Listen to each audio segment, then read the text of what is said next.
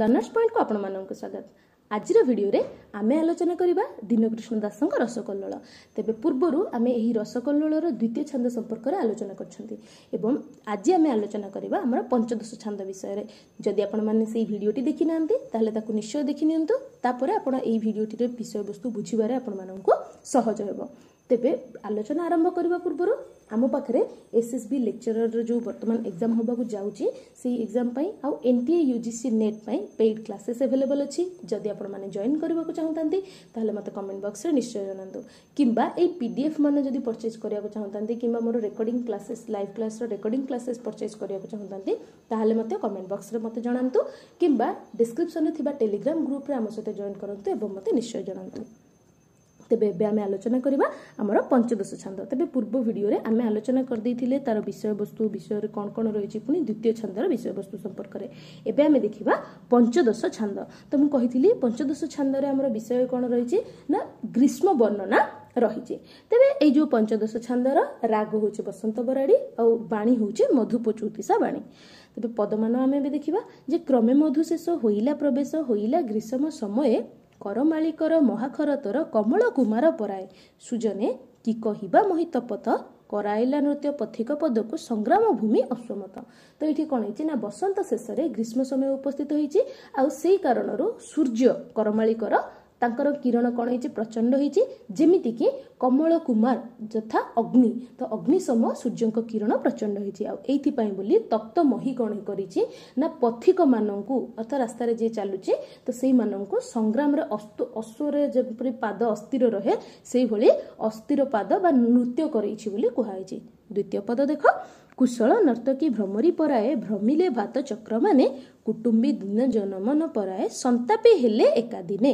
ସୁଜନେ କୃଷ ହୋଇଲା ନଦୀ ଜଳ କାନ୍ତ ଘନ ରସ ବିହୀନେ ଯେମନ୍ତ ଦିଶନ୍ତି ବୀର ହିଣିକୂଳ ତ ତାପରେ ପୁଣି କ'ଣ ହେଇଛି ଦେଖ? ନା ଯେଉଁ କୁଶଳୀ ବାଉଁଶରାଣୀ କଥା କୁହାହେଉଛି ଏଠି ହେଲା? ତ ଯେଉଁ କୁଶଳୀ ବାଉଁଶରାଣୀ ନର୍ତ୍ତକୀ ଯେଉଁ ଭ୍ରମରୀ କଥା କୁହାହେଉଛି ତ ଯେଉଁ କୁଶଳୀ ବାଉଁଶରାଣୀ ମାନେ ରହିଲେ ସେମାନେ ଯେମିତି କ'ଣ କରନ୍ତି ନା ବାଉଁଶ ଉପରେ ବୁଲିଥାନ୍ତି ବା ନିଜର କ୍ରୀଡ଼ା ପ୍ରଦର୍ଶନ କରିଥାନ୍ତି ସେଇଭଳି ହିଁ ବାତ ଚକ୍ର ମାନେ ଯେଉଁ ଖଣ୍ଡିଆ ଭୂତ କହୁଛନ୍ତି ଆମେ ବା ଧୂଳିଝଡ଼ ବୋଲି ଆମେ କହୁଛନ୍ତି ତ ସେଇ ଖଣ୍ଡିଆ ଭୂତମାନ ବୁଲିଲେ। ଆଉ ବଡ଼ କୁଟୁମ୍ବ ଥିବା ଲୋକର ମନ ଭଳି ଦିନ ଗୁଡ଼ାକ ତାତି ଉଠିଲା ମଧ୍ୟ। ପୁଣି ନଦୀର ଜଳଧାରା କ୍ଷୀଣ ହେଲା ଯେଭଳି କି ସୁନ୍ଦର ମେଘଜଳ ରୂପକ ପତିର ଶୃଙ୍ଗାର ରସ ନ ପାଇଲେ ବିରହୀ ନାରୀ ଶୁଖି ଯାଇଥାଏ। ତ କୃଷମାନେ କ୍ଷୀଣ ହବାଟା କଥା କୁହାଉଛି ହେଲା। ପୁଣି କୁହାଗଲା କୁରଙ୍ଗ ନୟନା ନୟନ ତରଙ୍ଗ ବଳି ମୃଗତୃଷ୍ଣା ଦିଶିଲେ କଳା ମେଘ କୋଳେ ବିଜୁଳି ପରାଏ ବନେ ବନ ଅଗ୍ନି ହସିଲେ। ସୁଜନେ କାହିଁ ତୃଣରାଜ ଫୁଟନ୍ତି କାମିନୀ ସୁରତ କାଳେ ମନ ମନ ଶବଦ ପରାଏ ଘଟନ୍ତି। ତ ଏଇଠି ପୁଣି କ'ଣ କୁହାହେଉଛି ଦେଖ? ନା ଯେଉଁ ଯେମିତିକି କ'ଣ ହେଇଥାଏ ନା ଯେଉଁ ହରିଣ ନୟନା ଆଖି ରହିଛି ବା ହରିଣ ନୟନା ନାରୀ ଯାହାର ଆଖିର ଖେଳାକୁ ଜିଣିକି ମୃଗତୃଷ୍ଣା ମାନ ଦେଖାଗଲେ ମୃଗତୃଷ୍ଣା ମାନେ ମରିଚିକା ମାନ। ପୁଣି କଳା ମେଘରେ ଯେମିତି ବିଜୁଳି ଖେଳିଯାଏ ସେମିତି ହିଁ ବଣ ବା ଗହୀର ବଣମାନଙ୍କରେ ଅଗ୍ନି ଆମକୁ ଦେଖାଗଲା। ଆଉ ସେଇ ଅଗ୍ନି କାରଣରୁ କାମିନୀ ବା ନାରୀମାନଙ୍କର ଅସ୍ପୃଷ୍ଟ କଥା ପରି ବା ଅସ୍ଫୁଟ କଥା ପରି ବନରେ ତୃଣରାଜ ମାଥ ବାଉଁଶମାନ ଫୁଟିବା ଆରମ୍ଭ କଲେ। ପୁଣି କ'ଣ କୁହାଉଛି ଦେଖ କୃପଣ ସାମନ୍ତ ସେବକ ପରାଏ ତାପେ ଜର୍ଜର ସୂର୍ଯ୍ୟକାନ୍ତ କାନ୍ତ ରହିତ କାନ୍ତାପ୍ରାୟ ହୋଇଲେ ସରସୀ ମାନେ ବେସନ୍ତ। ସୁଜନେ କେବଳ ଭକ୍ତରଙ୍କ ପ୍ରାୟ କଚ୍ଛପ ମତ୍ସ୍ୟ ମଣ୍ଡୁକମାନଙ୍କର ଦୁର୍ବଳ ହୋଇ ଗଲାକାଏ। ତ ଏଠି ପୁଣି କ'ଣ କୁହାଉଛି ଦେଖ? ନା ଯେଉଁ କୃପଣ ସାନ୍ତମାନେ ରହିଥାନ୍ତି ସେଇମାନଙ୍କର ଦାସ ବା ଭୃତ୍ୟମାନେ ଦୁଃଖରେ ଦଗ୍ଧ ହେଲା ଭଳି ସୂର୍ଯ୍ୟଙ୍କ କିରଣରେ ସୂର୍ଯ୍ୟକାନ୍ତ ମଣି କ'ଣ ହେଇଛି? ଜର୍ଜର ହୋଇ ଉଠିଛି। ଆଉ ସ୍ୱାମୀ ବିନୁ ସ୍ତ୍ରୀ ଯେପରି କ'ଣ ହେଇଯାଏ ନା ବେଶ ଶୂନ୍ୟ ହେଇଯାଏ ସୁବେଶ ହୁଏ ନାହିଁ ତ ସେଇଭଳି ହିଁ ବଡ଼ ପୋଖରୀମାନ କ'ଣ ହେଲେ ନା ଶୁଖିକି ବେଶନ୍ତ ମାନେ ଗାଡ଼ିଆ ହେଇଗଲେ। ପୁଣି କଇଁଚ ମାଛ ବେଙ୍ଗ ଏଇ ସବୁ କ'ଣ କଲେ ନା ଯେମିତି ଭକ୍ତ ଆଉ ରଙ୍କମାନେ ଖାଦ୍ୟ ଅଭାବ କାରଣରୁ କ୍ଷୀଣ ହେଇଯାଆନ୍ତି ସେମିତି ହିଁ ସେମାନେ ମଧ୍ୟ କ୍ଷୀଣ ହେଇଗଲେ ବୋଲି କୁହାଯାଇଛି ପୁଣି କ'ଣ କୁହାଗଲା ଦେଖ? କମଳ ବିରହେ କରିବର ରହେ ମହାଗହନ ଆସେ କରି କର୍ଦ୍ଦମରେ ପଡ଼ି ଫେନ ମୁଖେ ରଡ଼ି ଛାଡ଼ନ୍ତି ଗନ୍ଧର୍ବ ବୈରୀ। ସୁଜନେ କୁଞ୍ଜ ଭିତରେ ପକ୍ଷୀମାନେ କେବଳ ଯୋଗୀ ଧ୍ୟାନ କଲା ପରାଏ ନିଶ୍ଚଳେ ରହିଲେ ମୌନେ। ତାପରେ ପୁଣି କ'ଣ କୁହାହେଉଛି ନା ଜଳ ବିହୁନେ ବା ଜଳ ବିହୁନ କାରଣରୁ କମ୍ ହେଇଯିବା କାରଣରୁ ହସ୍ତି କ'ଣ ହେଇଛି? ନା ମହାଗହନ ଅର୍ଥ ଘୋର ବଣକୁ ଆଶ୍ରା କରିଛି। ଆଉ ମଇଁଷି ଯିଏକି ଯେଉଁ ଗନ୍ଧର୍ବ ବୈରୀ କଥା କୁହାହେଉଛି ତ ସିଏ ହେଉଛି ମଇଁଷି ଗନ୍ଧର୍ବର ବୈରୀ। ତ ମଇଁଷି କ'ଣ କରିଛି? ନା ପଙ୍କର ପଙ୍କରେ ପଡ଼ିକି ରଡ଼ି ଛାଡ଼ିଛି। କାହିଁକି? ନା ଜଳମାନ ସବୁ ଶୁଖିଯାଇଛି ଜଳଭଣ୍ଡାରମାନ ସେଥିପାଇଁ ସେ ପଙ୍କରେ ପଡ଼ି ରଡ଼ି ଛାଡ଼ିଛି। ଆଉ କୁଞ୍ଜରେ ପକ୍ଷୀମାନେ ଯେମିତି ଯୋଗୀମାନେ ଧ୍ୟାନସ୍ଥ ଥିଲାବେଳେ ମୌନ ରହିଥାନ୍ତି ସେଇଭଳି ମୌନ ମଧ୍ୟ ରହିଛନ୍ତି ସେମାନେ। ପୁଣି ଦେଖ କ'ଣ କୁହାହେଉଛି? କରିବାକୁ ପ୍ରାଣ ରକ୍ଷା ନିଜ ପ୍ରାଣ ପରକୁ ଦେଲା ପ୍ରାୟ ହୋଇ କୋକ ମୃଗ ଯାଇ ଭୟକୁ ପକାଇ ସିଂହ ଛାଇରେ ହେଲେ ଛାଇ। କୋବିଦେ କୁଣ୍ଡଳୀ କୂଳ ଏହି ରୂପେ କଳାପି କଳାପ ତଳରେ ରହିଲେ ପାଇ ବିପତ୍ତି କି ଆତପେ। ତାପରେ ପୁଣି କ'ଣ ହେଇଛି ଦେଖ ନା କୋକ ମୃଗ ଯେଉଁ ରହିଛି ଏମାନେ କ'ଣ କଲେ ନା ନିଜ ପ୍ରାଣ ରକ୍ଷା ପାଇଁ ବୋଲି ସିଂହର ଛାଇରେ ସେମାନେ ଆଶ୍ରୟ ନେଇଛନ୍ତି। ଆଉ ଖରାରେ କଷ୍ଟ ପାଇକି କୁଣ୍ଡଳୀ କୂଳ ଅର୍ଥାତ ସାପଗଣ ବା ସାପମାନେ କ'ଣ କରିଛନ୍ତି ନା ଯେଉଁ ମୟୂର କଳାପି ମାନେ ଆମେ ମୟୂର ଜାଣିଛନ୍ତି ତ କଳାପିର କଳାପ ଯେଉଁ ପୁଚ୍ଛ ସେଇ ତଳେ ଆଶ୍ରା ନେଇଛନ୍ତି ବୋଲି କୁହାହେଉଛି। ତାପରେ ପୁଣି କ'ଣ ଦେଖ କୁହାହେଉଛି ନା କାହିଁ ଗଲା ବନ ଲତା ଶୋଭାବନ କାନ୍ତା ହତ କାନ୍ତା ପରାଏ। କରିଥିଲା ସିନା ବସନ୍ତ ତାହାକୁ ନବ ପଲ୍ଲବେ ତୋରାମୟେ। କୋବିଦେ କାଳେ ସେ ଅନ୍ତର ହୋଇଲା କନ୍ଦର୍ପ ଦର୍ପ ରହିତ ହୋଇ ସଖା ଅଭାବେ ହୃଦୟରେ ଶୋଇଲା। ତ ତାପରେ ପୁଣି କ'ଣ କରାଯାଇଛି ଯେଉଁ ବନଲତା ମାନ ରହିଥିଲେ ଯେଉଁମାନେ କି ବସନ୍ତ କାରଣରୁ ପଲ୍ଲବିତ ହୋଇଥିଲେ ସେମାନେ ପତି ମୃତ୍ୟୁବରଣ କରିଥିବା ସ୍ତ୍ରୀ ଭଳି କ'ଣ ହେଇଛନ୍ତି ନା ଶୋଭାହୀନ ହେଇଯାଇଛନ୍ତି। କାରଣ ଯେଉଁ ବସନ୍ତରୁ ଆସିଥିଲା ପତ୍ରମାନ ସେଗୁଡ଼ାକ ନଷ୍ଟ ହେଇଯାଇଛି ବର୍ତ୍ତମାନ। ପୁଣି ବସନ୍ତର ଉଦ୍ଦୀପନା ରହିତ ହେଇକି ତାପରେ ମାନବ ହୃଦୟରେ କନ୍ଦର୍ପ କ'ଣ କରିଛି? ନା ଶୋଇପଡ଼ିଛି ଆମେ ଜାଣିଛନ୍ତି ଉଦ୍ଦୀପନା ଭିତରେ ଆମେ ଦେଖିଥାନ୍ତି ଯଦି କନ୍ଦର୍ପ କଥା ଦେଖୁଛନ୍ତି ତାହେଲେ ବସନ୍ତ ଆମର ଉଦ୍ଦୀପନା ବିବାହ ଭିତରେ ଆସିଥାଏ। ତ ସେଥିପାଇଁ ବୋଲି କ'ଣ ହେଇଛି ନା କନ୍ଦର୍ପ ଶୋଇପଡ଼ିଛି ଏଇ ଜିନିଷ ଆମକୁ କୁହାଯାଉଛି। ପରେ ଦେଖ ପରବର୍ତ୍ତୀ ପଦରେ ଆମର କ'ଣ କୁହାଗଲା? କୁଞ୍ଜେ କୁଞ୍ଜେ ବସି ଝିଙ୍କାରି ଡାକିଲେ କାମ କେଳି ବାଟ ପଡ଼ିଲା କୁସୁମ କାଣ୍ଡ ମଣ୍ଡି ହୋଇ ଅର୍ଜୁନ ବିଯୋଗୀ ହୃଦୟ ତାଡ଼ିଲା। କୋବିଦେ କଉ ପଥିକ ତାପ ବଳେ କରନ୍ତେ ଗମନ ଶ୍ରମୀ ଶ୍ରମ ପାଇଯାଇ ବସନ୍ତେ ବହୁ ପାଦ ତଳେ। ତ ତାପରେ ପୁଣି କ'ଣ ହେଇଛି? ନା ବନସ୍ତରେ ଝିଙ୍କାରି ବସିକି ଡାକିଛି। ଆଉ ଯେଉଁ କାମ କେଳି ରହିଲା ସିଏ ବନ୍ଦ ହେଇଯାଇଛି। ଆଉ ଅର୍ଜୁନ ବୃକ୍ଷରେ ଫୁଲ ଆସିବା କାରଣରୁ ଯେଉଁ ବିଯୋଗୀ ହୃଦୟ ରହିଛି ତାକୁ କଷ୍ଟ ଦେଇଛି। ପୁଣି ଖରା କଷ୍ଟ ପାଇକି ପଥିକମାନେ ବରଗଛ ଯେଉଁ ବହୁପାଦ ମାନେ ବରଗଛ ତ ବରଗଛ ତଳେ ବସିଛନ୍ତି ସେମାନେ। ପୁଣି କ'ଣ କୁହାଯାଇଛି ଦେଖ? କୃପଣ ଧନ ସଞ୍ଚିଲା ପ୍ରାୟ ମଧୁ ସଞ୍ଚିଲେ ମଧୁକର ମାନେ କେଜଳ ଛତ୍ର ପବିତ୍ର ମାନ ଦେଲେ ବ୍ରାହ୍ମଣ କରେ ସ୍ଥାନେ ସ୍ଥାନେ। ସୁଜନେ କଉଁ ଈଶ୍ୱର ଅନୁଗ୍ରହୀ କର୍ପୂର ଚନ୍ଦନ ଅଙ୍ଗେ ବୋଳି ହୋଇ ଧାରା ମଣ୍ଡିତ ପୁରେ ରହି। ତ ତାପରେ ପୁଣି କ'ଣ ହେଇଛି ନା ଯେମିତିକି କୃପଣ ମାନେ କ'ଣ କରନ୍ତି ଧନ ସଞ୍ଚୟନ କରିଥାନ୍ତି ବା ସଞ୍ଚୟ କରିଥାନ୍ତି ସେଇଭଳି ହିଁ ମହୁମାଛି ମାନେ ମହୁ ସଞ୍ଚିବା ଆରମ୍ଭ କଲେ। ପୁଣି ଯେଉଁ ପବିତ୍ର ମାନ ଅର୍ଥ କ'ଣ ନା କିଛି ପୁଣ୍ୟବନ୍ତ ଲୋକମାନେ କ'ଣ କଲେ ନା ଜଳଛତ୍ର ମାନ ସ୍ଥାନେ ସ୍ଥାନେ ଖୋଲିଲେ। ଆଉ ଈଶ୍ୱର ଅନୁଗ୍ରହୀ ଯେଉଁ ବ୍ୟକ୍ତିମାନେ ରହିଥିଲେ ସେମାନେ କର୍ପୂର ଚନ୍ଦନ ଅଙ୍ଗରେ ବୋଳି ହେଇକି ଜଳ ଯନ୍ତ୍ର ଘରମାନଙ୍କରେ ରହି ମାନେ ରହିଲେ। ପରପଦରେ କ'ଣ କୁହାଗଲା ଦେଖ? କେ ଗୀତେ କବିତ୍ୱ କେ ଗୀତ କବିତ୍ୱ ବେଣୁ ବୀଣା ନୃତ୍ୟ ରଙ୍ଗେ ଦିନମାନ ହରନ୍ତି କେବସି ଏକାନ୍ତେ କାମିନୀ ସଙ୍ଗତେ ଚନ୍ଦନ ପିଚିକା ମାରନ୍ତି। ସୁଜନେ କେକରେ ନୌକା ବିହାର କେ ସ୍ୱେଦ ଭୟରେ କଳ ତଳୁ ତାଳ ବୃନ୍ତନ କର ଏ ବାହାର। ତ ତାପରେ ପୁଣି କ'ଣ ହେଇଛି ନା ଏଇ କିଏ କ'ଣ କରିଛି ନା ଗୀତ ନୃତ୍ୟ ଆଉ କବିତ୍ୱ ମାଧ୍ୟମରେ ନିଜର ଦିନମାନ କାଟିଛି ପୁଣି କିଏ ଏକାନ୍ତରେ ବସି ନାରୀ ସହିତ ଚନ୍ଦନ ପିଚିକା ଖେଳିଛି କିଏ ନୌକା ବିହାର କରିଛନ୍ତି? ପୁଣି କିଏ ଝାଳ ଭୟରେ ତାର ହାତରୁ ତାଳ ବୃନ୍ତ ଅର୍ଥ ଯେଉଁ ବିଞ୍ଚଣା ବୋଲି ଆମେ ବ୍ୟବହାର କରୁଛନ୍ତି ତ ସେଇ ବିଞ୍ଚଣାକୁ ସିଏ ବାହାର କରି ନାହିଁ ପରବର୍ତ୍ତୀ ପଦରେ ଦେଖ କ'ଣ କୁହାଯାଉଛି ଆମକୁ? କେ ଦିନ ଶେଷରେ ଦିନ କର କରେ ତାପ ପାଇ ଜଳେ ବୁଡ଼ଇ କେ ମହାବିକଳେ ବସି ଶୀତସ୍ଥଳେ ଶୀତଳ ପବନ ଲୋଡ଼ଇ। ସୁଜନେ କେତେ କହିବି ଏ ପ୍ରସଙ୍ଗ କେବଳ ଶୀତକାରକ ଦ୍ରବ୍ୟ ବିନୁ ଆନ ଲୋଡ଼ିଲା ନାହିଁ ଅଙ୍ଗ। ତ ତାପରେ କ'ଣ କହୁଛନ୍ତି କିଏ କ'ଣ କରୁଛି ଦିନ ଶେଷରେ? ଦିନକର ଅର୍ଥ ସୂର୍ଯ୍ୟଙ୍କର ଯେଉଁ କିରଣ ତାର କିରଣର ଯେଉଁ ଜ୍ୱାଳା ପାଇ ବୋଲି ଜଳରେ ବୁଡ଼ୁଛି। ପୁଣି କିଏ ମହାବିକଳରେ ବୃକ୍ଷ ଛାଇରେ ବସିକି ଥଣ୍ଡା ପବନର ଆଶା କରୁଛି? ପୁଣି ଶୀତଳ ବା ଥଣ୍ଡା ଜିନିଷ ବ୍ୟତୀତ ଅନ୍ୟ କୌଣସିଥିରେ ମଧ୍ୟ କାହାର ଆଶା ନାହିଁ। ପରପଦରେ ଦେଖ କାନ୍ତ ପ୍ରବଳ ଗ୍ରୀଷ୍ମରେ ବିକଳ ହୋଇ ସକଳ ଗୋପାଙ୍ଗନା କରିବେ ବୋଲି ଜଳ କ୍ରୀଡ଼ା ଚଞ୍ଚଳ ହୋଇଲେ ଚଞ୍ଚଳ ନୟନା। ସୁଜନେ କମଳା କୁଟିଳ କୁନ୍ତଳା କାମ କେଳି କଳା କୁଶଳା ସୁଶୀଳା କେତକୀ ଗୌରୀ ପ୍ରେମଶୀଳା। ତ ତାପରେ ପୁଣି କ'ଣ ହେଇଛି ଦେଖ ନା ସୁନ୍ଦର ପ୍ରାବଲ୍ୟ ଗ୍ରୀଷ୍ମରେ ବିକଳ ହେଇକି ଗୋପଙ୍ଗନା ମାନେ କ'ଣ କରିଛନ୍ତି? ଜଳକ୍ରୀଡ଼ା ପାଇଁ ଅସ୍ଥିର ହୋଇଛନ୍ତି। ତ ଏଇଠି କୁଟିଳ କୁନ୍ତଳ ମାନେ ଯାହାର କି କୁଟିଳ ଆକାରର କ'ଣ କୁନ୍ତଳ ମାନେ କେଶ ଥିବା ନାରୀ। ପୁଣି କେତକୀ ଗୌରା ମାନେ ଅଳଙ୍କାର ଆବୃତ ଗୌରବର୍ଣ୍ଣ ଯୁକ୍ତ ଯେଉଁ ନାରୀ ବା କାମକେଳି କୁଶ କାମକେଳି କଳା କୁଶଳା ମାନେ ଯେଉଁ କନ୍ଦର୍ପ କ୍ରୀଡ଼ା ରହିଛି ସେଇ କଳାରେ କୁଶଳ ନାରୀ ତଥା ସୁଚରିତା ମାନେ ସୁଶୀଳା ମାନେ ସୁଚରିତା ନାରୀ ମାନେ ଅନୁରାଗୀ ଯେଉଁ ପ୍ରେମଶୀଳା ମାନେ ଅନୁରାଗୀ ନାରୀ। ଏଇ ସମସ୍ତେ କ'ଣ କଲେ ନା ଜଳ କ୍ରୀଡ଼ା ନିମନ୍ତେ ଚଞ୍ଚଳ ହେଲେ ଅର୍ଥ। ଏଠି ଗୋପୀମାନଙ୍କ କଥା କୁହାହେଉଛି। ପୁଣି ଆହୁରି କ'ଣ କୁହାହେଲା ଦେଖ? କରି କୁମ୍ଭସ୍ତନା କୋକିଳ ବଚନା କୁନ୍ଦ କଳି ଚାରୁ ଦଶନା କୁଟିଳ ଦଶନା ପ୍ରସନ୍ନ ବଦନା ଶ୍ରୀକୃଷ୍ଣ ଚନ୍ଦ୍ର ସ୍ନେହ ଘେନା ସୁଜନେ କୁପକା ନିତମ୍ବ ଶୋଭନା କେଶରୀ ମଧ୍ୟମା କୌତୁକ ସୀମା କୁଞ୍ଜବନ କେଳିଏ ଲୋଭନା। ତ ପୁଣି ଦେଖ କ'ଣ ହେଇଛି?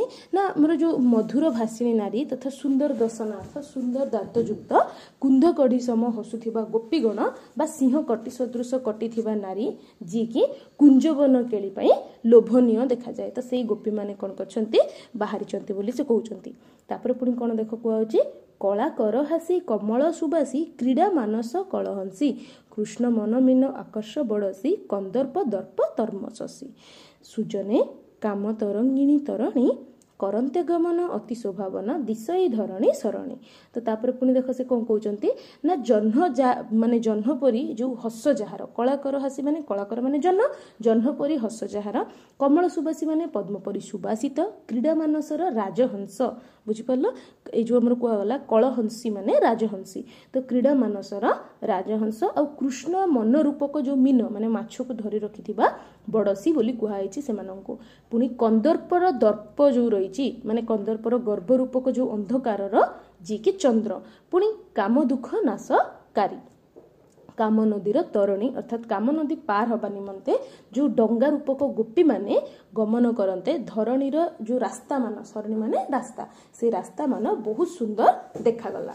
ପୁଣି ଦେଖ କ'ଣ କୁହାଯାଉଛି। ନେକ୍ସଟ ପଦ ଦେଖ କ'ଣ କୁହାଗଲା।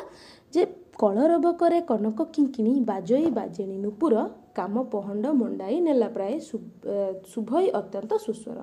ସୁଜନେ କମଳ ବିଞ୍ଛିଲା ପରାଏ କିଶଳୟ ପାଦ ପନ୍ତି ବିକାଶନ୍ତି ପଦ ପଦକେ ସୁଖମୟେ। ତ ଏଇଠି ପୁଣି କ'ଣ କୁହାହେଉଛି ଦେଖ ନା ଯେତେବେଳେ କି ସେମାନେ କ'ଣ କରିଛନ୍ତି ନା କଳରବ କରିକି ତାଙ୍କର ଯେଉଁ ସୁନାର କିଙ୍କିଣୀ ରହିଛି ଅର୍ଥାତ୍ ସୁନାର ଘୁଙ୍ଗୁର ଯୁକ୍ତ ବାଜେଣୀ ନୁପୁର ବାଜି ଉଠିଛି। କାମଦେବଙ୍କର ପହଣ୍ଡ ଜଗନ୍ନାଥଙ୍କ ପରି ଯେଉଁ ଧୀର ପହଣ୍ଡ ପକେଇବାରେ ସୁସ୍ୱରରେ ସେଟା ବାଜି ଉଠିଛି। ଆଉ ପଦ୍ମ ଫୁଟି ଉଠିଲା ପରି କଅଁଳିଆ ପତ୍ର ପରି ସେମାନେ ପାଦ ଗୁଡ଼ାକ ପକେଇ ପକେଇ ଆଗକୁ ଯାଇଛନ୍ତି। ପରପଦରେ ଦେଖ କ'ଣ କୁହାଉଛି କାଳିନ୍ଦୀ କୂଳରେ ପ୍ରବେଶ ହୋଇଲେ ସକଳ ବରଜ ବାଳିକା କଲେ ଅବଲୋକ କଳାରେ ନିନ୍ଦୁଛି ଦଳିତ କଜ୍ଜଳ କାଳିକା। କାମିନୀ କଟାକ୍ଷ ପରାଏ ତରଙ୍ଗ କବରୀ ପରାଏ ମହା ମନୋହର କୁସୁମ ମାନଙ୍କର ସଙ୍ଗ। ତ ତାପରେ ସେ କ'ଣ କହୁଛନ୍ତି ଦେଖ?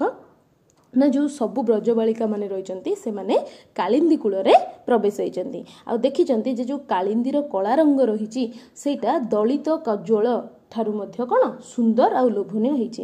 ପୁଣି ନାରୀର କଟାକ୍ଷ ପରି ସେଥିରେ ତରଙ୍ଗମାନ ରହିଛନ୍ତି। ଆଉ କାଳିନ୍ଦୀର ଜଳ ଫୁଲ ଖୋସା ଯାଇଥିବା ଖୋସା ପରି ଅତି ସୁନ୍ଦର ଦେଖାଯାଉଛି ପରପଦରେ ଦେଖ କ'ଣ କୁହାଗଲା?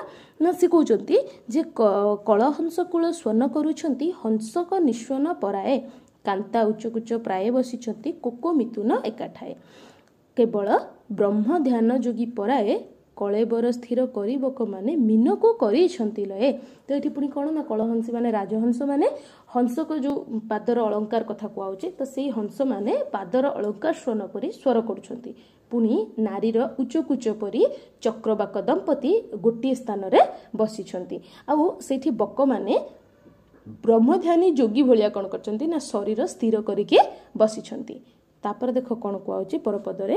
କମଳେ କମଳ ବଦନୀ ପସନ୍ତେ କମଳେ ହୋଇଲେ ଚଞ୍ଚଳ କୁବଳୟ ଆଦି କହ୍ଲାର ସହିତେ କେତ ହିଁ ନୋହିଲେ ନିଶ୍ଚଳ। କେବଳ ଯେ ଯାହାକୁ ଗୁଣେ ବଳଇ କି କି କରି ପାଶେ ଦେଖିଲେ ତାକୁ ସେ ଅଧୈର୍ଯ୍ୟ ହୋଇ ତରଳଇ। ତ ତାପରେ ସେ କ'ଣ କହୁଛନ୍ତି ଦେଖ ନା ଜଳରେ ପଦ୍ମମୁଖୀ ମାନେ ପଶିବାରୁ ଯେଉଁ ପଦ୍ମମାନ ରହିଥିଲେ ସେଇ ପାଣିରେ ସେମାନେ କ'ଣ ହେଇଛନ୍ତି ନା ଘୁଞ୍ଚି ଯାଇଛନ୍ତି। ଆଉ କୁବଳୟ ମାନେ ଏଇଠି ନୀଳ କଇଁ ଆଉ କହ୍ଲାର ମାନେ ଯେଉଁ ଧଳା କଇଁ ଏଇମାନଙ୍କ ସହିତରେ ସମସ୍ତେ କ'ଣ ନା ଚଞ୍ଚଳ ହେଇଯାଇଛନ୍ତି ଅର୍ଥ ଘୁଞ୍ଚି ଯାଇଛନ୍ତି। କାହିଁକି ନା ନିଜ ଗୁଣଠୁ ବଳିଥିବା ଜଣଙ୍କୁ ଦେଖିଲେ ଜଣେ କ'ଣ ହେଇଯାଏ ଅଧୈର୍ଯ୍ୟ ହେଇକି ତରଳି ପଡ଼େ। ସେଇ ସମୟ ଏଇ ପଦ୍ମ ପଦ୍ମମାନେ କଇଁମାନେ ଏଇ ପଦ୍ମମୁଖୀ ଗୋପୀମାନଙ୍କୁ ଦେଖିକି ଅସ୍ଥିର ବା ଅଧୈର୍ଯ୍ୟ ହେଇ ଉଠିଛନ୍ତି। ପରେ ଦେଖ କ'ଣ କୁହାଉଛି କମନୀୟ ମୁଖ ସୁନେତ୍ର ସୁନଖ ଶୋଭାକୁ ସୋମ ନହିବାରୁ କମ୍ପିଲା ସବୁରି ଶରୀର ସୁମରି ମରିବା ଭଲ ଲାଜଠାରୁ। କାଦମ୍ବ କୂଳ ପାଶରେ ନ ରହିଲେ କରିବାକୁ ଚୋରି ମମନ ଚାତୁରୀ ମନରେ ଭୟକୁ ସହିଲେ ବା ବହିଲେ। ତ ଏଠି ପୁଣି କ'ଣ ହେଇଛି ନା ତାଙ୍କର ଯେଉଁ କମନୀୟ ମୁଖ ଆଉ ସୁନେତ୍ର ସେଟା ସୁନଖ ଶୋଭାକୁ ସମ ନ ହେଇପାରିବାରୁ ତାଙ୍କର ଶରୀର କ'ଣ ହେଇଛି ନା କମ୍ପନ ହେଇଛି। ଆଉ ସିଏ ଭାବିଛନ୍ତି ଯେ ୟାଠାରୁ ବା ଏହି ଲାଜଠାରୁ ମରିବା ଭଲ। ପୁଣି ସେମାନେ କଦମ୍ବ କୂଳ ପାଖରେ ନ ରହିନାହାନ୍ତି ସେଇ କାଦମ୍ବ କୂଳ ପାଶରେ ରହିନାହାନ୍ତି ଆଉ ଗମନ ଚାତୁରୀ ଚୋରି କରିବା ପାଇଁ ବୋଲି ସେମାନେ ମନରେ ଭୟ ବହିଛନ୍ତି। ତାପରେ ଦେଖ ସେ କ'ଣ କହୁଛନ୍ତି? କନକ ଲତା ନୀଳମଣି ସ୍ଥଳରେ ପବନେ ଧଳିଲା ପରାଏ। କେ କାହାକୁ ପାଣି ପାଣିରେ ପୁରୋଇ ଆନନକୁ ମାରି ପଳାଏ। କେ ଜଳ କରଟ ପରାଏ ବୁଡ଼ଇ କାହିଁ ଯିବୁ ବୋଲି କରିକେ ପାଣିରେ ପାଣି ଘେନି କରି ଲୁଡ଼ଇ। ତ ତାପରେ ପୁଣି ଦେଖ ସେ କ'ଣ କହୁଛନ୍ତି ନା କାଳିନ୍ଦୀରେ ଗୋପୀମାନେ କ'ଣ କରିଛନ୍ତି ନା ପବନରେ ସ୍ୱର୍ଣ୍ଣଲତା ଯେଉଁ ଗୋପୀମାନେ ଯାହାକି ସ୍ୱର୍ଣ୍ଣଲତା ସହିତ ତୁଳନା କରାଯାଇଛି ପବନରେ ଢଳିଲା ପଳି ସେମାନେ ପାଣି ଭିତରେ ବୁଲୁଛନ୍ତି। ଆଉ କେଉଁ ଗୋପୀ ପୁଣି ପାଣି ହାତରେ ନେଇକି କ'ଣ କରୁଛି କାହା ମୁଖକୁ ମାରିକି ପଳଉଛି। ଆହୁରି ପୁଣି କିଏ ଜଳକରଟା ମାନେ ପାଣି କୁଆ ଭଳିଆ ପାଣିରେ ବୁଡ଼ୁଛି। କେଉଁ ଗୋପୀ ପୁଣି ହାତରେ ପାଣି ନେଇକି ଅନ୍ୟ ଗୋପୀମାନଙ୍କ ସହିତ କ୍ରୀଡ଼ା କରିବାରେ ବ୍ୟସ୍ତ ରହିଛି। ପରପଦରେ ଦେଖ ସେ କ'ଣ କହୁଛନ୍ତି କରେ କର ଦେଇ ଚକ୍ରବାଳ ହୋଇ କମଳୁ କମଳ ତୋଳନ୍ତି। କେ କର କମଳେ କମଳ କୁସୁମ ତୋଳି କାହାକୁଚେ ଢାଳନ୍ତି। କେବଲେ ସଖୀ କୁଚପନ୍ତି ଶଙ୍କର କରି ଏହାଙ୍କୁ ଜଳସାଇ ସମସ୍ତେ ହେଲାଇ ଏହାଙ୍କ କିଙ୍କର। ତ ତାପରେ ପୁଣି କ'ଣ କରିଛନ୍ତି ନା ସେଥିରେ ହାତକୁ ହାତ ଧରିକି ସେମାନେ ମଣ୍ଡଳ କରିଛନ୍ତି ଆଉ ଜଳରୁ ପଦ୍ମ ତୋଳିଛନ୍ତି। ପୁଣି କିଏ ହାତରେ କମଳ ମାନେ ପଦ୍ମ ନେଇକି କାହାର ସ୍ତନରେ ଢାଳିଛି ଆଉ କେଉଁ ଗୋପୀ ପୁଣି ନିଜ ସଖୀର କୁଚପନ୍ତୀକୁ ଶଙ୍କର ବୋଲି ମାନ୍ୟ କରିଛି ଆଉ ତାଙ୍କୁ ଜଳସାଇ କରିକି ତାଙ୍କର ଭୃତ୍ୟ ବା କିଙ୍କର ଯିଏକି ବିଶ୍ୱସ୍ତ ସେବାକାରୀ ଭାବରେ ନିଜକୁ ମାନେ ତର୍କଣା କରିଛନ୍ତି। ତାପରେ ପୁଣି ଦେଖ କ'ଣ କହୁଛନ୍ତି କିବର ମାଗିବ ମାଗିଥାଅ ଏବେ ଯେ ଯାହାର ଦୁଃଖ ଜଣାଇ କେବଲେ କୃଷ୍ଣଙ୍କୁ ଏକାଳରେ ଯେବେ ଦେବେ ଆମ୍ଭ ପାଶେ ଅଣାଇ କରିବା ତାଙ୍କୁ ଘେନି ଜଳ ବିହାର କହୁ କହୁ ଏହା କମଳ ନୟନ ବୃନ୍ଦାବନୁ ହେଲେ ବାହାର। ତ ତାପରେ ପୁଣି କ'ଣ ହେଇଛି? ନା ଏଇଭଳି ଗୋପୀମାନେ କ'ଣ କ୍ରୀଡ଼ା କଲାବେଳେ ସେ କହୁଛନ୍ତି କି ବର ମାଗିବ ମାଗ? ତେବେ ଗୋପୀମାନେ କୃଷ୍ଣଙ୍କୁ ଏଇ ସମୟରେ ଆମ ପାଖକୁ ଆଣିଦେଲେ ତାଙ୍କୁ ନେଇ ଜଳ କ୍ରୀଡ଼ା କରିଥାନ୍ତୁ ବୋଲି କହିଛନ୍ତି। ଆଉ ସେ ସମୟ ବେଳକୁ କୃଷ୍ଣ ବୃନ୍ଦାବନରୁ ବାହାରିଛନ୍ତି। ପରବର୍ତ୍ତୀ ପଦରେ ପୁଣି କ'ଣ କୁହାହେଉଛି ଦେଖ? ନା କଲେ ବିଚାର ଗୋପିକା ଯମୁନାରେ କରୁଅଛନ୍ତି ଜଳ କ୍ରୀଡ଼ା କରି ଅନ୍ତର ଅଙ୍ଗବାସ ସମସ୍ତେ ଛାଡ଼ି ଅଛନ୍ତି ମନୋବ୍ରୀଡ଼ା। କରିବା ସବୁରି ବସନ ହରଣ କଦମ୍ବ ବୃକ୍ଷରେ ଦୋଳି କରି ବସି ବସି କରିବା କଉ ତୁକିପଣ ତାପରେ କୃଷ୍ଣ ମନରେ ବିଚାର କରିଛନ୍ତି ଯେ ଗୋପିକାମାନେ ମନରୁ ଲାଜ ଛାଡ଼ିକି ଏବଂ ଶରୀରରୁ ଅଙ୍ଗବାସ ଛାଡ଼ି ଯମୁନାରେ ଜଳ କ୍ରୀଡ଼ା କରୁଛନ୍ତି। ତ ସେଇମାନଙ୍କର ବସ୍ତ୍ର ହରଣ କରି କଦମ୍ବ ଗଛରେ ଦୋଳି କରି ଲୀଳାଖେଳା କରିବା। ପରବର୍ତ୍ତୀ ପଦରେ କ'ଣ କୁହାହେଉଛି ଦେଖ? କେଶବ ମନରେ ଏମନ୍ତ ବିଚାରି ସୁମରି ଜଗତ ପ୍ରାଣକୁ କଲେ ଆଦେଶ ଅମ୍ବର ଘେନି ଆସ କେଳି କଦମ୍ବ ପାଦପକୁ। କେଶବ ଆଜ୍ଞାରେ ପବନ ବହିଲା କୁରଙ୍ଗୀ ନେତ୍ରୀଙ୍କ ଅମ୍ବର ଅମ୍ବରେ ଉଡ଼ାଇ ନଗରେ ଥୋଇଲା। ତ ଏଇଠି ପୁଣି କ'ଣ ହେଇଛି? ନା ସିଏ ଅମ୍ବର ମାନେ ପବନ ଯେଉଁ ରହିଛି ତ ସେଇ ପବନକୁ ଆଦେଶ ବା ଜଗତ ପ୍ରାଣମାନେ ଏଠି ପବନ କଥା କୁହାଉଛି ତ ପବନକୁ ସ୍ମରଣ କରିଛନ୍ତି ଆଉ ସେ କହିଛନ୍ତି ଯେ ଗୋପୀମାନଙ୍କର ଅମ୍ବର ମାନେ ଲୁଗା ସବୁ କଦମ୍ବ ଗଛ ଉପରକୁ ଆଣିକି ଆସିବା ପାଇଁ। ପୁଣି ହରିଣ ନୟନା ଗୋପୀଙ୍କର ଲୁଗା ଆକାଶରେ ଉଡ଼େଇ ଅମ୍ବର ମାନେ ଆକାଶରେ ଉଡ଼େଇ ନେଇକି ନାଗରଙ୍କ ଅର୍ଥ କୃଷ୍ଣଙ୍କ ପାଖରେ ପହଞ୍ଚି ଦେଇଛି ପବନ। ପରପଦରେ ଦେଖ କ'ଣ କୁହାଗଲା? କୁଞ୍ଜ ବିନୋଦିଆ ବଂଶୀବଦନିଆ ବସିଲେ କଦମ୍ବ ଉପରେ କେବଳ ନୟନ ସଖା ସଙ୍ଗେ ଘେନି ରହିଲା ଗୋପୀଙ୍କ ଉପରେ। କାମିନୀ ମାନେ ଜଳକ୍ରୀଡ଼ା ବଢ଼ାଇ କୂଳକୁ ଯାଇ ସମସ୍ତେ ଅନାଇଲେ କାହାରି ପିନ୍ଧ ପିନ୍ଧା ବାସ ନାହିଁ। ତ କୁଞ୍ଜର ବିନୋଦକାରୀ ତଥା ବଂଶୀବଦନକାରୀ କୃଷ୍ଣ କଦମ୍ବ ମୂଳରେ ବସିଛନ୍ତି କଦମ୍ବ ବୃକ୍ଷରେ ବସିଛନ୍ତି ଆଉ ନୟନ ତାଙ୍କର ଗୋପୀଙ୍କ ଉପରେ ରହିଛି। ଆଉ ନାରୀ ବା ଗୋପୀମାନେ ଜଳ କ୍ରୀଡ଼ା ଶେଷ କରିକି କୂଳକୁ ଯାଇକି ଦେଖିଛନ୍ତି ଯେ କାହାର ମଧ୍ୟ ପିନ୍ଧା ବସ୍ତ୍ର ଆଉ ନାହିଁ। ତାପରେ ସେ ଦେଖୁଛନ୍ତି କେଚକିତ ହୋଇ ରହିଲା ଅନାଇ କୁରଙ୍ଗୀ ପ୍ରାୟକେ ଚାହିଁଲା କେବଲେ ଆମ୍ଭ ସମ୍ବର କିଡ଼ା ସୁଖ ଅମ୍ବର କିମ୍ପା ନ ସହିଲା କେବଲେ କେକଲା ଏଡ଼େ ଅବିଚାର କେ ଅଛି କାହାକୁ ପଚାରିବା ଏହା କାହାରି ତ ନାହିଁ ସଞ୍ଚାର।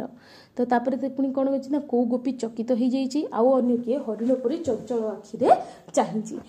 କିଏ ପୁଣି କହିଛି ଯେ ଆମ୍ବର ଯେଉଁ ସମ୍ବର କ୍ରୀଡ଼ା ଅର୍ଥ ଜଳ କ୍ରୀଡ଼ାକୁ ଅମ୍ବର ସହ୍ୟ କରିପାରିଲା ନାହିଁ।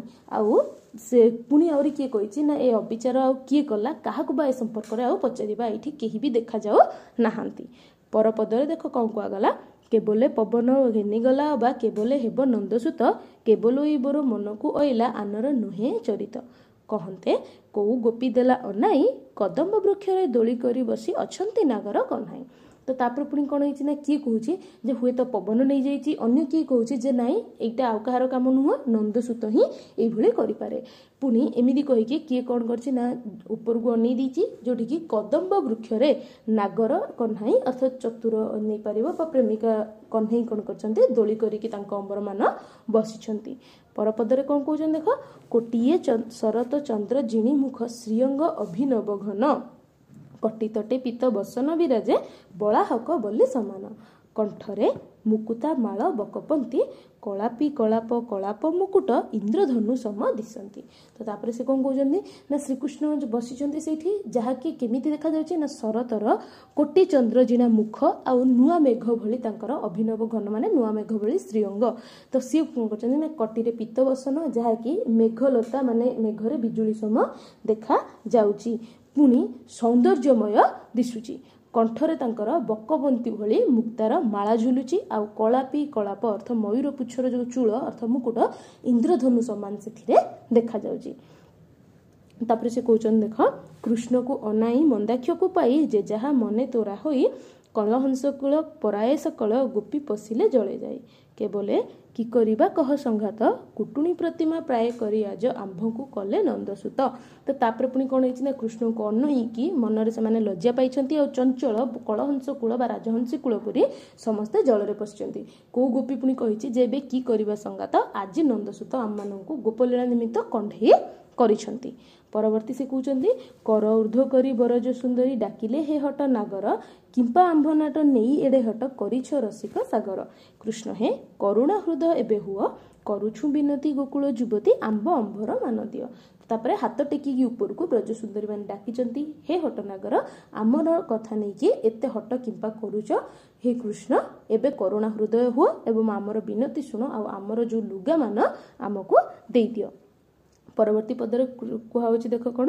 କେଶବ ବୋଲନ୍ତି ଆଗ ଗୋପୀମାନେ ଏ ତୁମ୍ଭର କୋଉ ବଡ଼ାଇ କନ୍ଦର୍ପ ଘର ବୁଡ଼ାଇ ବସିଅଛ ମୋତେ ଦେବ ବୋଲି ଉଡ଼ାଏ କରିବା ତୁମ୍ଭ ଆମ୍ଭର ଆଜ ନ୍ୟାୟ କୋଉ ବଡ଼ପଣେ ଚୋର ଦୋଷ ଦେଲ ଏକଥା ଯାଉ ଯାଉ ଏକଥା କଂସ ଯାଏ। ତ ତାପରେ ସେ ପୁଣି କେଶବ କହୁଛନ୍ତି ଯେ କେତେ ବଡ଼େଇ ଗୋପୀମାନେ ତୁମର ତୁମମାନେ କନ୍ଦର୍ପ ଘର ବୁଡ଼େଇକି ବସିଛ ମୋତେ ଉଡ଼େଇ ଦେବ ବୋଲି। ଆଉ ଆଜି ଏଇ କଥାର ନ୍ୟାୟ ନିଶ୍ଚୟ ହେବ। କେଉଁ କାରଣରୁ ତମେ ମୋତେ ଚୋର ବୋଲି ଦୋଷ ଦେଇଛ ଏଇ ବିଷୟ କଂସ ଯାଏଁ ଯାଉ କାହିଁକି ନା କଂସ ହେଉଛି ରାଜା ଆଉ କଂସ ନ୍ୟାୟ କରିବ ତ ସେଥିପାଇଁ କଂସ ଯାଏଁ ଯାଉ ବୋଲି ସେ କହିଛନ୍ତି। ତାପରେ ଦେଖ ପୁଣି କ'ଣ କୁହାହଉଛି ଆମର। କରିଅଛ ଯୋଉ ବନୟ ଗରବ ଜଳରେ ଉଲଙ୍ଗ ହୋଇଲ। କଂସ ପରା ମାମୁଁ ଥାଉ ଥାଉ ଏବେ ମୋତେ ଚୋର ବୋଲି ବୋଇଲ। କେବଲେ ସବୁ ଅଛୁନି ଆମେ ଜାଣି କଅଁଳା ପୁଅ ଦିନରୁ ପ୍ରତି ଘରେ ନର ହୋଇ ସର ଲବଣୀ। ତ ତାପରେ ପୁଣି କ'ଣ ହେଇଛି ଦେଖ ସେ କହୁଛନ୍ତି ଯେ ଯୌବନ କାରଣରୁ ଏଇଭଳି ତୁମେ ଗର୍ବ କରୁଛ ଆଉ ଏଇ ଜଳ ଜଳରେ ତମମାନେ ଉଲ୍ଲଗ୍ନ ହେଇଛ।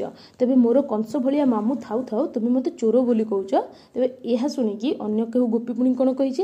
ନା ଆମେ ସବୁ ଜାଣିଛୁ କଅଁଳା ପୁଅ ହେଲା ବେଳରୁ ହିଁ କାହା ଘରେ ମଧ୍ୟ ଆଉ ସର ଲବଣୀ ରହୁ ନାହିଁ ବୋଲି ସେ କହୁଛନ୍ତି। ତାପରେ କହୁଛନ୍ତି କୋଉ ଅରଣ୍ୟରେ କୋଉ ଗୋପୀଠାରେ ନୁହିଛି ଡକାଇତପଣ କେବଳ ଆଜ ପର୍ଯ୍ୟନ୍ତ ନଥିଲା ପିନ୍ଧିଲା ବସନ ହରଣ। କୃଷ୍ଣ ହେ।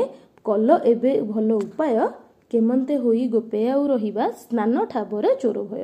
ତ ସେ କହୁଛନ୍ତି ଯେ ସବୁ ବଣରେ ସବୁ ଗୋପୀ ଠାରୁ ତମେ ଚୋରି କରିଛ କିନ୍ତୁ ଆଜି ପର୍ଯ୍ୟନ୍ତ କେବଳ ପିନ୍ଧିଲା ବସ୍ତ୍ରମାନର ହରଣ ନଥିଲା। ତେବେ ଏବେ ସ୍ନାନ ଜାଗାରେ ମଧ୍ୟ ଚୋର ଭୟ ହେଇଛି। ତେବେ କୋଉ ଭାବରେ ଆଉ ଗୋପରେ ଆମେ ଜୀବନ ଧରିବା ବା କୋପରେ ରହିବା? ପରବର୍ତ୍ତୀ ପଦ ଦେଖ କଣ କୁହାଗଲା? କଦମ୍ବ ବୃକ୍ଷେ ପବନ ପକାଇଲା ଆମ୍ବକୁ କିମ୍ପା ଦୋଷ ଦିଅ କୌତୁକେ ଆମ୍ଭେ ସୁଖେ ବସିଅଛୁ ଯେ ଯାହା ବାସ ଚିହ୍ନିନିଅ। କରାଇ ଅଣଆୟତ୍ତ ସବୁ ନାଟ କଷ୍ଟେ କଷ୍ଟେ ଜଳୁ ବାହାର ହୋଇଲେ ଅବାଟ ମାନ କରିବାଟ। ତ ତାପରେ ସେମାନେ କ'ଣ କରିଛନ୍ତି? ନା ପବନ ଏଇଭଳିଆ ବସନ ଆଣିକି କୃଷ୍ଣ କହୁଛନ୍ତି ଯେ ବସନ ପବନ ଆଣିକି କଦମ୍ବ ବୃକ୍ଷରେ ପକେଇଛି ତମେ ମୋତେ କାହିଁକି ଦୋଷ ଦଉଛ? ଆମେ ତ ଏଇଠି ମଜାରେ ବା କୌତୁକରେ ବସିଛୁ ତୁମେମାନେ ନିଜ ନିଜର ବସନ ଚିହ୍ନିକି ନିଅ। ତେବେ କଥା ଅଣଆୟତ୍ତ ଯେତେବେଳେ ହେଇଛି ଗୋପୀମାନେ କ'ଣ କରିଛନ୍ତି? ନା ଯୋଉ ଅବାଟ ମାନଙ୍କରେ ପଶିକି ବାହାରକୁ ବାହାରିଛନ୍ତି। ତାପରେ କରକ ଦେଇ କାମଦେବ ମନ୍ଦିରେ ଆର କର ଉର ଉପରେ କରନ୍ତି ଗମନ ଲମ୍ବାଇ ବଦନ ଲାଜକୁ ପକାଇ ପଛରେ। କଦମ୍ବ ତଳରେ ହେଲେ ଯାଇ ଉଭା କନ୍ୟାସ୍ତମ୍ଭ ପ୍ରାୟ ସମସ୍ତେ ଦିଶନ୍ତି ଜଳେ କନକ କାନ୍ତି ପ୍ରଭା ତ ଗୋଟିଏ ହାତ ସେମାନେ କାମଦେବ ମନ୍ଦିରରେ ଅନ୍ୟଟି ସେମାନେ ଉର ଉପରେ ବା ସ୍ତନ ଉପରେ ଦେଇକି ଲାଜ ଛାଡ଼ି ମୁହଁକୁ ତଳ ତଳକୁ କରିକି ଆସିଛନ୍ତି। ଆଉ ସମସ୍ତେ ଯାଇ କଦମ୍ବ ବୃକ୍ଷ ତଳେ ପହଞ୍ଚିଛନ୍ତି ଏବଂ ଜଳରେ ସୁବର୍ଣ୍ଣ କାନ୍ତିର ପ୍ରଭା ଅର୍ଥାତ୍ ଚିତ୍ର ପ୍ରତିମା ପ୍ରାୟ ସେମାନେ ଦେଖା ସୁନ୍ଦର ମଧ୍ୟ ଦେଖାଯାଉଛନ୍ତି। ପରବର୍ତ୍ତୀ ପଦରେ ଦେଖ କ'ଣ କୁହାଗଲା? କହନ୍ତି ଶ୍ରୀକୃଷ୍ଣ ଆଗ ଗୋପୀମାନେ ଏବେ ଆମ୍ଭର ବୋଲକର କଲ ଯେ ଜଳ ଦେବତାରେ ଅପରାଧ ଶିରରେ ଦିଅ ବେନିକର କେବଳେ ଆମ୍ଭେ କି ଜାଣୁ ଦେବତାଙ୍କୁ କେବଳ ମନ ବଚନ କର୍ତ୍ତବ୍ୟରେ ଜାଣୁ ଏକା ଜଗ ଜିତାଙ୍କୁ। ତାପରେ ସେ କ'ଣ କରିଛନ୍ତି କୃଷ୍ଣ କହିଛନ୍ତି ଯେ ଏବେ ମୋର ତମମାନେ କଥା ମାନ ଜଳ ଦେବତାଙ୍କ ପାଖରେ ତମେ ଅପରାଧ କରିଛ ତେଣୁ ଶିରରେ ଦୁଇ ହାତ ଲଗାଅ। ଆଉ ପରେ କ'ଣ କରିଛି ନା ଜଣେ ଗୋପୀ କହିଛି ଯେ ଆମ୍ଭେ ଦେବତାଙ୍କୁ ଜାଣିନାହୁଁ କାୟ ମନ ବାକ୍ୟରେ ଜଗଜିତା କୃଷ୍ଣଙ୍କୁ କେବଳ ଆମେ ଜାଣିଛୁ ବୋଲି ସେ କହୁଛନ୍ତି। ତାପରେ କହୁଛନ୍ତି କରୁଛୁ ତାହାଙ୍କୁ ନମସ୍କାର ବୋଲି ଶିରରେ ଦେଲେ ବେନିକର। କାଇଁଚ ମାଳିଆ ଘନଶ୍ୟାମଳିଆ ହସରେ ହୁଅନ୍ତି ଅଧୀର। କହିଲେ କୁଚ ଶମ୍ଭୁଙ୍କୁ ଜଳସାଇ କରିବାରୁ ଏହି ବରକୁ ପାଇଲ ରହିଲ ଦିଗମ୍ବରୀ ହୋଇ। ତ ତାପରେ ସେ କ'ଣ କହୁଛନ୍ତି? ନା ଉଁ, ଗୋପୀମାନେ ଯେତେବେଳେ ଶ୍ରୀକୃଷ୍ଣଙ୍କୁ ହିଁ ଜାଣିଛୁ ବୋଲି କହିଛନ୍ତି ତାପରେ ତାଙ୍କର ଯେଉଁ ତାଙ୍କୁ ନମସ୍କାର କରୁଛୁ କହିକି ସେମାନେ ଦୁଇ ହାତକୁ ଶିରରେ ଦେଇଛନ୍ତି। ତେବେ କାଇଁଚମାଳିଆ ଆଉ ଘନ ଶ୍ୟାମଳିଆ ହସରେ କ'ଣ କରିଛନ୍ତି ନା ଅଧୀର ହୋଇଛନ୍ତି ଆଉ କହିଛନ୍ତି ଯେ ଯେଉଁ କୁଚ ଶମ୍ଭୁ ଯେଉଁ ସ୍ନନରୂପକ ଶମ୍ଭୁକୁ ଜଳସାହି କରିଥିବାରୁ ଏହି ବର ଅର୍ଥ ଯେଉଁ ଦଣ୍ଡକୁ ତମେ ପାଇଲ ଆଉ ଉଲ୍ଲଗ୍ନ ହେଇକି ମାନେ ଦିଗମ୍ବରୀ ଯେଉଁ କୁହାଉଛି ତାର ଅର୍ଥ ଉଲ୍ଲଗ୍ନ ହେଇକି ତମେ ରହିଲ ବୋଲି କହୁଛନ୍ତି। ପରପଦରେ ଦେଖ କ'ଣ କୁହାଉଛି କରୁଣା କର ନାଗର ସିରିଧଲ ଦେଲେ ଯେ ଯାହା ଅମ୍ବରକୁ କୁରଙ୍ଗ ତରଙ୍ଗ ନୟନ ନଚାଇ କଲେ ହରସେ ଗୋକୁଳକୁ ଗମନ ଉଚ୍ଚ କୁଚ ବାସେ ଲୁଚାଇ। ତ ତାପରେ ପୁଣି କ'ଣ ହେଇଛି? ନା କରୁଣାକର ନାଗର ଶ୍ରୀଧର ଯିଏକି ଉଁ, ଶ୍ରୀକୃଷ୍ଣ ଯାହାର ତାର ବସନକୁ ଦେଲେ ଆଉ ସୁନା ଦର୍ପଣ ପରି ମୁହଁ ମାନରେ ପ୍ରସନ୍ନତା ଖେଳିଗଲା। ପରେ ମୃଗର ଚଞ୍ଚଳ ନୟନ ପରି ନୟନ ନଚେଇକି ସେମାନେ ବସନରେ ନିଜର ଉଚ୍ଚ କୁଚମାନ ଲୁଚେଇ ଗୋକୁଳକୁ ଗମନ କରିଛନ୍ତି। ପରପଦରେ କ'ଣ କୁହାଗଲା ଦେଖ? କାଳିନ୍ଦୀ କୁଳିଆ କଦମ୍ବ ମୂଳିଆ କେକି ପୁଛ ଚାରୁ ଚୁଳିଆ କଜ୍ୱଳ କାଳିଆ କାଇଁଚ ମାଳିଆ ମଣି ମକର କୁଣ୍ଡଳିଆ କଳିତ ଲଳିତ ପିତ ଦୁକୁଳିଆ କଳଙ୍କ ରହିତ କଳା କଳଜିତ ସୁନ୍ଦର ମୁଖ ମଣ୍ଡଳିଆ। ତ ତାପରେ କାଳିନ୍ଦୀ କୁଳିଆ ଆମେ ଜାଣିଛନ୍ତି କୃଷ୍ଣ କଦମ୍ବ ମୂଳିଆ ଯିଏକି କଦମ୍ବ ମୂଳରେ ରହେ ପୁଣି କେକି ପୁଚ୍ଛର ସୁନ୍ଦର ଚୂଳ ଯିଏ ମୁକୁଟ ଧାରଣ କରେ। ପୁଣି କଜ୍ୱଳ ଭଳି କଲା ତଥା କାଇଁଚ ମାଳି ଧାରଣକାରୀ କୃଷ୍ଣ ମଣିର ମକର କୁଣ୍ଡଳ ଧାରଣକାରୀ ତଥା ସୁନ୍ଦର ଶୋଭନୀୟ ପିତ ବସନ ଦୁକୁଳ ମାନେ ବସନ। ତ ପିତ ବସନଧାରୀ କଳଙ୍କହୀନ ତଥା ଚନ୍ଦ୍ର ଜିତିଥିବା ମୁଖମଣ୍ଡଳ ଯାହାର ମାନେ କୃଷ୍ଣଙ୍କ କଥା କୁହାଉଛି କୁଟିଳ ନୀଳ ଅଳକା ବଳିଆ ନବ ଲବଣୀ କବଳିଆ କେତେ କେତେ କୌତୁକ କରୁଥାନ୍ତି ବ୍ରଜ ସୁତ ସଙ୍ଗ ମିଳିଆ। କଦମ୍ବ ବୃକ୍ଷରୁ ଓହ୍ଲାଇ ବିଜୟ କୃଷ୍ଣଦାସ ମନ ପଛେ ଗୋଡ଼ାଇଛି ସେହି ରୂପକୁ କରିଲଏ। ତ ତାପରେ ଏଠି ମାନେ ଆମର କୁଟିଳ ନୀଳ ଅଳକା ବଳିଆ ଅର୍ଥ ଯେଉଁ କୁଟିଳ କୃଷ୍ଣ ବର୍ଣ୍ଣର ଛୋଟ ଛୋଟ କେଶ ଯାର ମୁଖକୁ ଆବୃତ କରିକି ରଖିଛି। ପୁଣି ଲବଣୀ ଖାଉ କବଳିଆ ମାନେ ଲବଣୀ ଖାଉଥିବା କୃଷ୍ଣ କେତେ କେତେ ଲୀଳା କରିଥାନ୍ତି। କେମିତି ନା ବ୍ରଜ ସୁକୁମର ମାନଙ୍କ ସାଙ୍ଗରେ। ତେବେ ବିଜୟ ପାଇକି ସେ କଦମ୍ବ ଗଛରୁ ଓହ୍ଲେଇଛନ୍ତି ଏବଂ କୃଷ୍ଣ ଦାସ ଏହି ରୂପକୁ ଧ୍ୟାନ କରୁଛନ୍ତି ବୋଲି କବି ଏଠି କହିଛନ୍ତି। ତେବେ ଏତିକି ଥିଲା ଆମର ପଞ୍ଚଦଶ ଛନ୍ଦର ବିଷୟବସ୍ତୁ। ପରବର୍ତ୍ତୀ ଭିଡ଼ିଓରେ ଆମେ ଆଲୋଚନା କରିବା ଷୋଡ଼ଶ ଛନ୍ଦର ବିଷୟବସ୍ତୁ ସମ୍ପର୍କରେ। ତେବେ ଆଜିର ଆଲୋଚନା ଏତିକି। ଆଲୋଚନାଟି ଆପଣମାନଙ୍କୁ କିପରି ଲାଗିଲା କମେଣ୍ଟ ବକ୍ସରେ ମୋତେ ନିଶ୍ଚୟ ଜଣାନ୍ତୁ। ଆଶା କରୁଛି ଆପଣମାନଙ୍କୁ ଏହି ଛାନ୍ଦ ସମ୍ପର୍କରେ ଆଉ କୌଣସି ପ୍ରକାରର ଶଙ୍କା ରହିବ ନାହିଁ। ତେବେ ଭିଡ଼ିଓଟି ଭଲ ଲାଗିଥିଲେ ଚ୍ୟାନେଲକୁ ନିଶ୍ଚୟ ସବସ୍କ୍ରାଇବ୍ କରନ୍ତୁ ଏବଂ ଭିଡ଼ିଓଟିକୁ ଲାଇକ୍ ମଧ୍ୟ କରିଦିଅନ୍ତୁ ଏବଂ ଅନ୍ୟମାନଙ୍କ ସହିତ ସେୟାର ମଧ୍ୟ କରନ୍ତୁ। ଆଉ ଯଦି ଆପଣମାନେ ଆମର ପେଇଡ୍ କୋର୍ସେସ୍ ଜଏନ୍ କରିବାକୁ ଚାହୁଁଥାନ୍ତି ତାହେଲେ ମୋତେ କମେଣ୍ଟ ବକ୍ସରେ ନିଶ୍ଚୟ ଜଣାନ୍ତୁ ତେବେ ଶେଷ ପର୍ଯ୍ୟନ୍ତ ଶେଷ ପର୍ଯ୍ୟନ୍ତ ଭିଡ଼ିଓଟି ଦେଖିଥିବାରୁ ଆପଣମାନଙ୍କୁ ବହୁତ ବହୁତ ଧନ୍ୟବାଦ